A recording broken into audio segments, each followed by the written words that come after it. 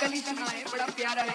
और आज जैसे मैंने बात कही ना कि हम छोटे मोटे व्यक्ति कहते गलती जानते नहीं लक्षराज लक्षराज भी गलत करे हमारे साथ तो ये मत सोचो कि हमारे साथ गलत क्यों हुआ क्या है किस्मत करना ही हरिओम हरिओम हरिओम।